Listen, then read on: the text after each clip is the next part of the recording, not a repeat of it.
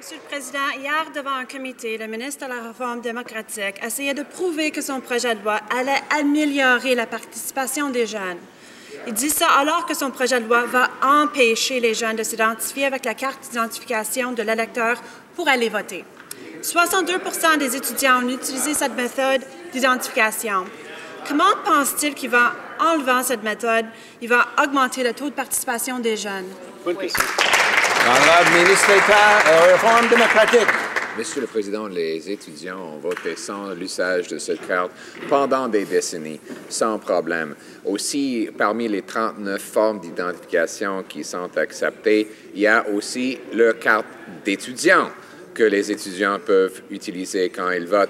Euh, et finalement, la loi sur l'intégrité des élections va obliger Élections Canada d'utiliser ces publicités pour informer les étudiants les, les méthodes d'identification qui sont nécessaires. La députée de. Le ministre répète, répète qu'il y a 39 autres manières de s'identifier. Mais en réalité, Monsieur le Président, il met les bâtons dans les roues des jeunes. Il parle du permis de conduire. 25% des citoyens de Toronto n'en ont pas. Il parle de la carte étudiante, mais plusieurs n'ont pas d'adresse écrite là-dessus.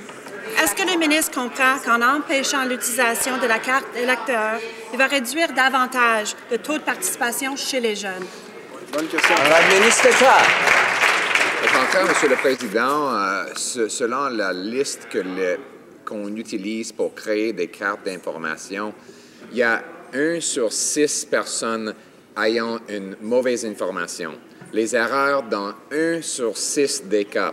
Ça permet la, fraude électorale euh, qu'on a déjà vu. Il y a évidemment au Québec, il y a même eu une émission qui a montré deux personnes qui ont voté deux fois parce qu'elles ont reçu deux cartes d'information chacun.